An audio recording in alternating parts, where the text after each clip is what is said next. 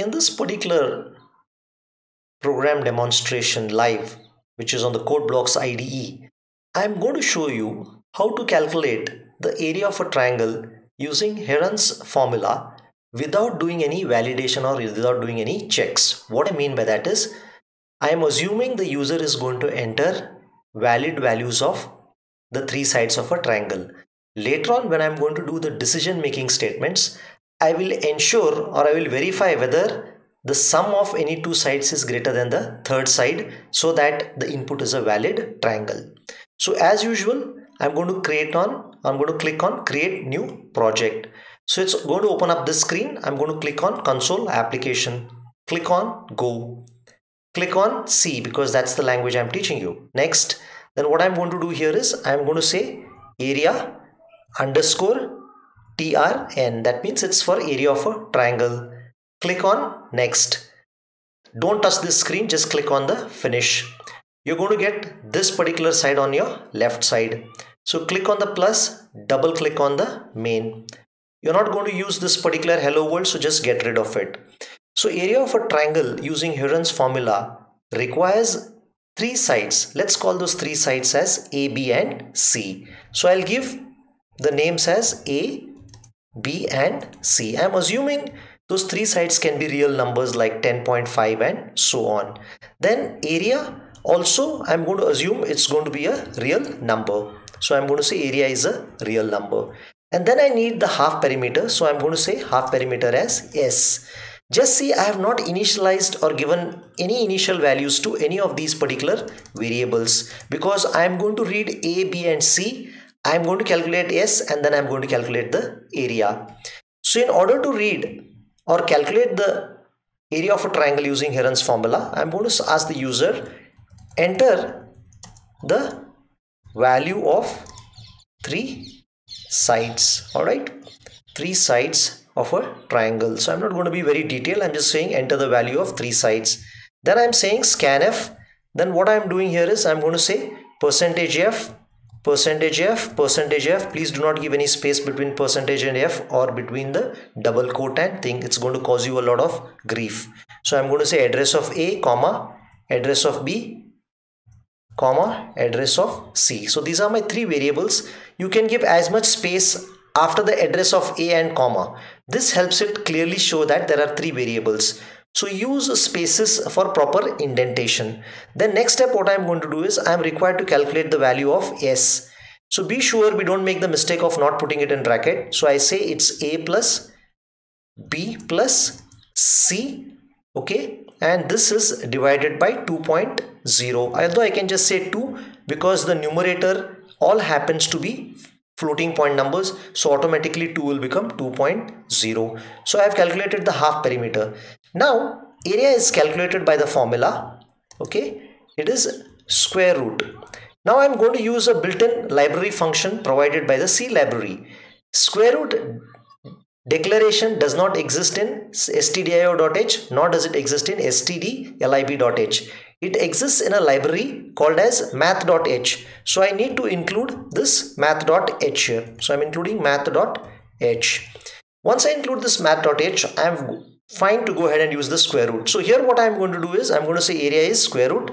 It is s into s minus a into again s minus b all right and then i'm going to say into s minus c. All right so here if you see this is the calculation for the or the formula for calculating the square root. So it is s into s minus a into s minus b into s minus c. So it's again a good habit to give spaces so that your code is readable and clear and it it is easy to understand by just looking at it. So if you have to write too many comments, be sure you have written a very bad code. Good comment requires very little or almost zero comments except at the top of functions to tell you what exactly it's trying to do. So here I have calculated area as square root of s into s minus a into s minus b into s minus c.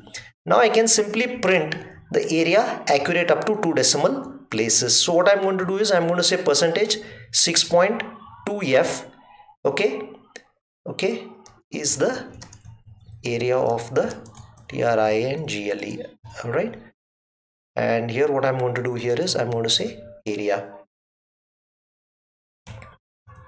All right 6.2 is the area of a triangle. Now, I'm not sure this program is going to run because there may be errors in what I have typed. Something when I type I almost think there are no errors but in real life errors are part of coding. So if you get errors let's not worry. We will try to debug or remove the errors. So you should not be scared of errors. Errors is pretty normal or compile time errors is pretty normal to get. So let's click on build. So it's it's saying something now.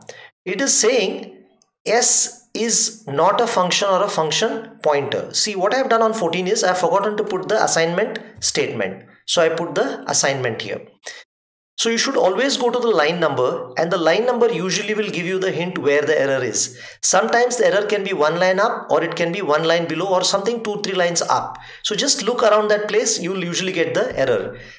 Almost 99% of the time the error message is very clear. Sometimes the error message is not clear like in the last example where I removed a semicolon and the error message was very confusing. So now it says one error was there, we took out the error. Let's try to recompile it. Let's see if our Lux runs well now. Now it says zero errors, zero warning. So the build is fine. So what I'm going to do is I'm going to use the shortcut key which is the F9 which is going to do a build and run. So once I do the F9 key, I have got this particular screen here. Okay, it's asking me enter the value of three sides of a triangle. So let me enter three sides. Here I should be sure that I enter three correct values because I am assuming the sum of any two sides is greater than the third side. So let's say it's 3, it's 5, okay and let the next side just be 6. So here if you see 5 plus 3 is greater than 6, 6 plus 5 is greater than 3 and 5 plus 3 is greater than 6 or in any way you look at it, it is greater than the third side. Now if you click on this, it will say 7.48 is the area of this particular triangle. You can take your calculator, go ahead and verify it. So this was a simple problem to show you how to calculate the area of a triangle using Heron's formula. Let me try to show you a few other things by trying to introduce certain errors in this particular program. Now what I can do is let me try to give you an value of ABC which does not form a valid triangle. Let's see what happens. Okay. You should always be curious to play around and run and do it because that's how you're going to learn. So I'm going to run. Let's say now 3, 4 and uh, yeah, let's say 3, 4 and 3. So is this a valid triangle? Yeah, it seems to be. 4 plus 3, 7 is greater than that. 4 plus 3 is 7. So let's try to make it an invalid triangle. Let's try to make this 9. Now it's not a valid triangle because 4 plus 3 is not greater than 9. See what happens now. You got minus 1 is the area of the triangle.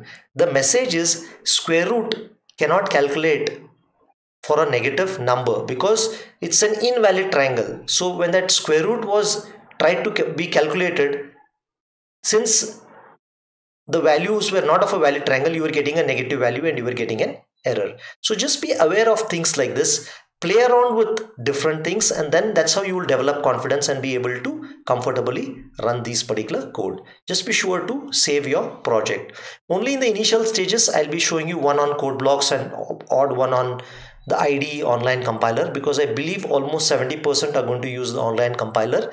I may do more programs on online IDE compiler, sorry, on the online GDB compiler, which runs on the cloud but some I may still show you on code blocks. So just be comfortable with both. Both are really easy and simple and there are plenty of tutorials available on the web how to run how to save how to compile and how to do all the basic operations of using an integrated development environment. At this stage other than this particular build which is build compile current file run build and run or rebuild you don't need any of these other buttons to worry at this point of time other than to save it. You can click on file save as a file and so on. So just don't go overboard and try to think you can learn everything in one day. Step by step we are going to go into it. For example fortran is not even useful for us. We are going to learn how to do debugging. So at a little later stage once we are comfortable writing a few basic programs